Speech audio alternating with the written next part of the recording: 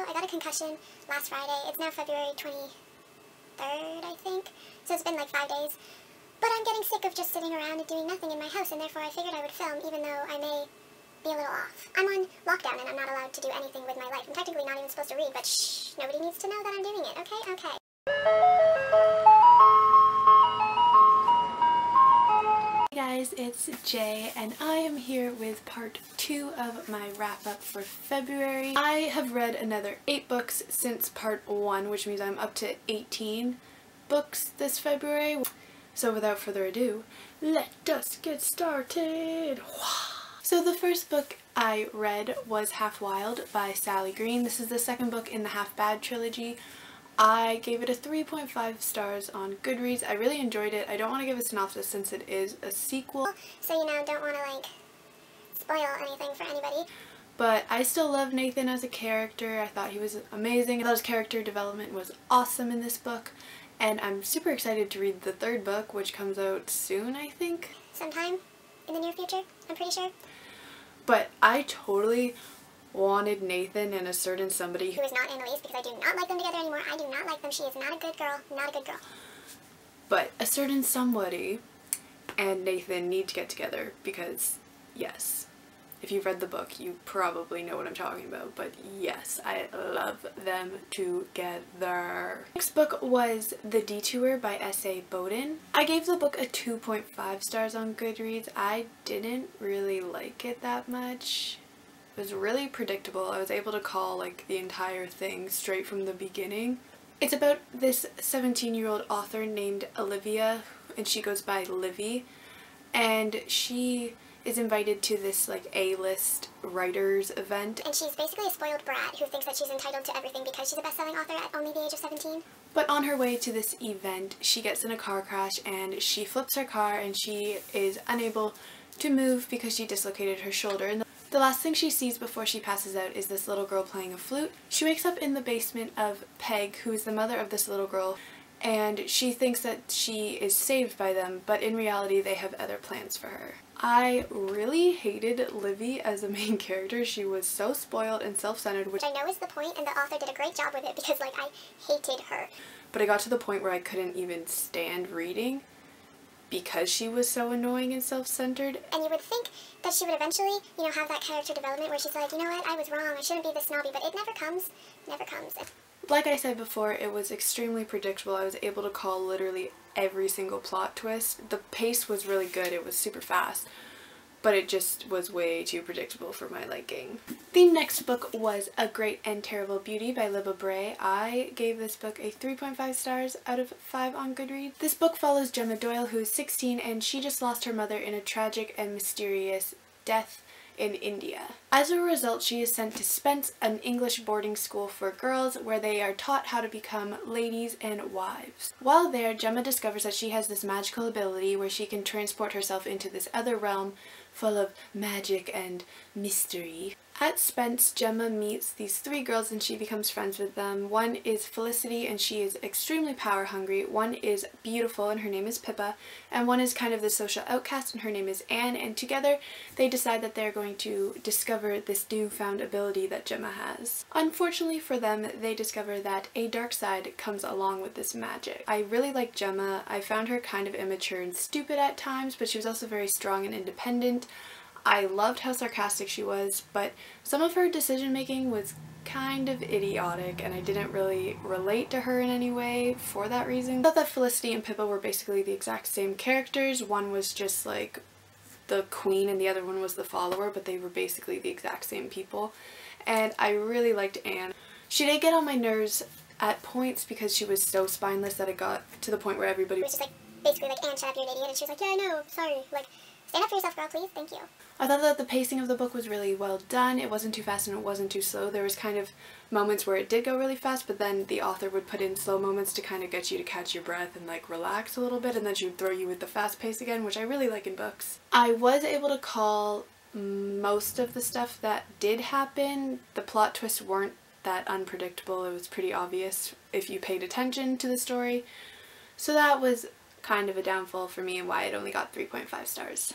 The next book that I read was Before I Fall by Lauren Oliver. I really enjoyed this book. I gave it a 4 out of 5 stars on Goodreads. It's about a girl named Samantha and she is mean, super mean, but she's popular so everybody kind of turns the blind eye to how mean she is. Her three friends, Lindsay, Elody, and Ally, rule the school with her.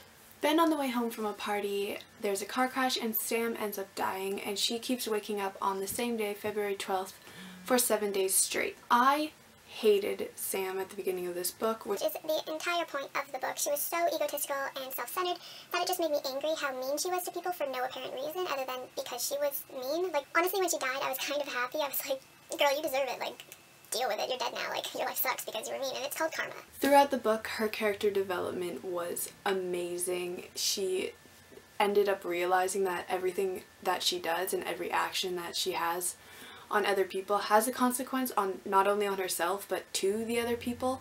Which I found to be a wonderful life lesson because your actions have consequences, kids. Remember that. I thought that Lauren Oliver did a great job capturing the voice of a teenager because, like, honestly, let's be real, a lot of teenagers act like this. And think that they're entitled to being bitchy teenagers because they live on this earth, and it's just annoying. I was one of those teenagers when I was 16, I was a devil child. I'm not gonna lie, I was terrible to my parents. But I learned. Parents are always right. Listen to your parents. Everything that you say to another person, it sticks with them even if you don't think it will. Like, they're gonna remember it, so be nice. Be nice to people. I love how with each day that Sam relives, you get to see inside another character's life, like one of the side characters. I loved Izzy, her little sister, and Kent especially, but it was really cool learning about Lindsay as well and like everything that she's been through and how insecure she is. I just really liked seeing how vulnerable the characters all were. The next book I read was Almost Perfect by Brian Katcher. I gave this book a 3.5 stars out of 5 on Goodreads. Logan and his longtime girlfriend Brenda just broke up recently because she cheated on him and now he doesn't think that he can trust anybody. That's when Sage moves to town and they instantly become the best of friends. She's tall and funny and quirky and he can't seem to get her off his mind. When Logan tries to pursue her, Sage says that he should stay away from her and that they're not good together and Logan basically ignores her until Sage gives in and they kiss. That's when she reveals her biggest secret. She was born a male. I really did not like Logan as a person. I understand that he's from like a small town and a lot of small towns in the States aren't really all that accepting of, you know, trans people. From what I've heard, I don't know if that's actually true, but here in Canada, that's the rumor, so I could be wrong. I'm sorry. Please don't hate me. I consider myself a very understanding person and I see it as As long as you're happy, you do you girl. If you want to be a man, you be a man. If you want to be a female, you be that female. Like I don't care as long as you're a happy person. But I understand where he is coming from that Sage didn't tell him right away, but she shouldn't have to. That's just my opinion. And she did tell him that they wouldn't be suited well for each other, and he ignored her. So really this is your fault, Logan. Deal with your consequences. Like I said about the other book, there are consequences for your actions. Although I will admit that Logan's reaction is probably the reaction that a lot of teenage boys would have anywhere in the world. This was a little bit over the top. It was like every two seconds he was like, oh my god, now I'm gay. Like what am I gonna do? What is everybody gonna think of me? Like nobody cares. Do you, boo-boo. Do you. I absolutely loved Sage though. She was so quirky and funny and I just thought that she was like the star of the entire show. The only problem that I did have with Sage was that she kept going back to Logan every time he would do something mean or nasty to her. She was like, it's okay, like, you love me, I know you do, like, don't worry. Like, no girl, kick him to the curb. You can do so much better than him. That's all I'm gonna say. The next book that I read this February was Faceless by Alyssa Sheinmel. I'm probably saying that wrong. I'm so sorry. I gave the book a 4 out of 5 stars on Goodreads. I really, really liked this one. I thought it was super entertaining. It's about a girl named Maisie Winters who wakes up in a hospital bed one day and she discovers that she's been in a coma for three weeks because she was in an electrical fire which literally destroyed her face. Obviously Maisie is very upset about this, I mean who wouldn't be, and then she discovers that she is a candidate for a face transplant. She ends up realizing that nothing is ever going to be the same and it basically just follows Maisie through her life trying to readjust into her school and being with her boyfriend and friends again. I thought that the author did an amazing job portraying a teenage voice, especially one who's going through something so life-changing like Maisie was, I thought it was really, really well done. I loved how sarcastic and quirky Maisie was, even though she was extremely negative. But I mean, like, it's realistic because I would be extremely pissed off if that happened to me, even though, like, it's nobody's fault. But I would be so mad, and I'm sure I would act the exact same way that Maisie did. I thought that the family dynamics in the book were so well done, even though not all of them were super positive. I thought that they were very well written, and I absolutely loved the friendships between Serena and Maisie and Maisie and Adam. I thought that they were great and I would love to read more about them, but I don't think there's going to be another book about them, but I really enjoyed it. I can't decide if I liked the love interest Chirag or not. He kind of pissed me off, but I understand why he was doing the things that he did. But I don't know, I can't decide if he was a good guy or not. I honestly don't know.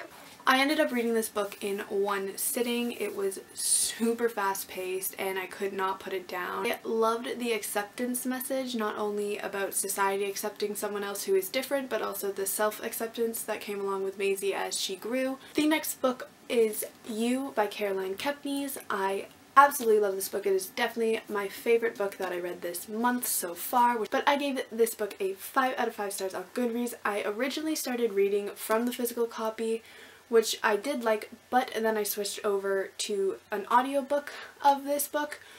And it was so much better. Like, being able to actually hear Joe's voice and actually being inside his head was so much creepier than I think if you actually just read the book in your own voice. I found myself loving Joe and like sitting there like, yeah, you know, like that's actually reasonable what you're doing, but like it's not at all. He was insane, like certifiable insane, but I just I loved him. I this book follows Joe and he meets a girl named Beck and he instantly becomes attracted to her and he decides that they are going to date no matter what. So he inserts himself into her life and they end up starting this relationship and he's a super creepy stalker guy and she has no idea and it's just their life together and it was so good. It was so good. I'm thinking of putting up a full review of this just on this book. So if you guys are interested, leave a comment down below and uh, I'll do that for you. Alright, 5 out of 5 stars. Seriously, read the book. And the final book that I will be talking about in this wrap-up, which is the 18th book this month, is Cryer's Cross by Lisa McMann. I am so disappointed in this book. I gave it a 2 out of 5 stars on Goodreads. I was super excited to read it because I loved Lisa McMann's Dead to You. I thought it was an amazing story. I thought the writing was amazing. And this one just fell super short for me. It was not good. It's about this girl named Kendall Fletcher and she has OCD and she's living in a very, very small town called Cryer's Cross in Minnesota. After a young girl disappears without a trace, Kendall throws herself into soccer and dance and hanging out with her best friend and boyfriend Nico in order to distract herself from the creepy things that are going on. A few days later, Nico ends up going missing. When Kendall realizes that Tiffany, the girl who went missing, and Nico sat in the same desk. She begins to think that this isn't exactly a coincidence and there's more going on than meets the eye. The plot of this was kind of stupid, to be honest. I don't want to give it away. The cover kind of gives it away, but it just, it wasn't good. It fell flat for me. I appreciate what Lisa McMann was trying to do and it definitely had potential but it just it didn't get to the creepy level that I was hoping it was going to get to.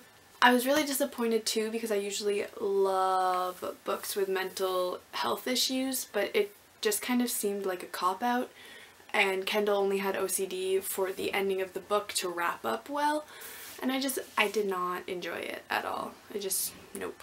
Nope, nope, nope, nope. Alright guys, so that was the next eight books that I read this February. There might be a part three of this because I'm on lockdown and I'm not allowed to do anything with my life until my concussion symptoms are gone.